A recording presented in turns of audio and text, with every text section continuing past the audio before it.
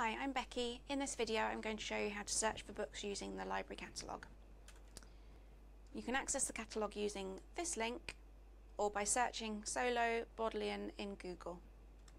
This is the home page and you can use this text box here to do a keyword search. Solo is accessible anywhere in the world, you don't need to sign in to search it. So in this example I'm going to quickly search for a book Okay, so you can see that there are 68,489 results. Luckily, this top one is the book I'm looking for. If you're not seeing the item you're looking for within the first few results, you can use these options on the left hand side to narrow down your search. So this is the book that I want to look at. You can see here it says that three versions of the record exist.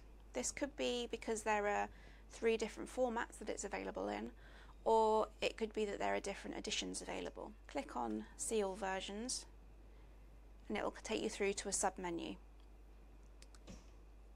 So here we can see these are all the same edition, they are all published in 2012.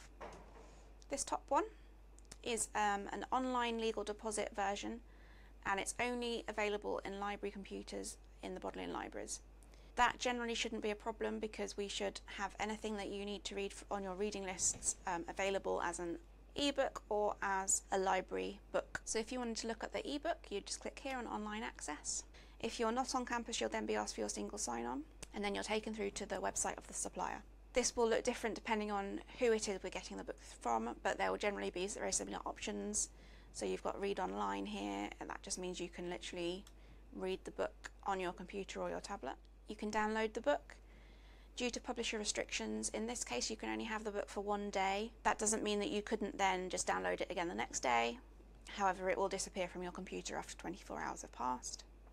Or you can download one chapter and that doesn't expire, so that stays on your computer forever.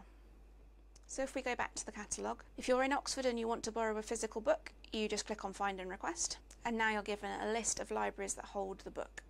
So I'm going to click on Sainsbury Library because that's where I am. So here you can see that the book is in the lower reading room. This is the shelf mark and as there are copies that say available next to them, it means they're on the shelf and they're ready for you to go and pick up. Books can be borrowed for seven days at a time and renewed as many times as required, providing that nobody else has put a reservation on that book. For distance learning students such as executive MBAs and MMPM students. Although our loan period is seven days, we are usually happy to make an exception so that you can borrow books until you're back in Oxford. Please just come and talk to somebody at the library desk if you need any help with extending your loans. The last thing I want to show you on here is how to create a citation from this record in Solo. So if you just click here on citation, it gives you options for different citation styles. Here at the Said Business School we use Harvard and you can just copy and paste this citation into your assignment. Do make sure if you're using this that you standardize your citations because some websites might do their citation style slightly different. That's all I want to show you on here. Please have a look at our other videos for more information on how to use Solo.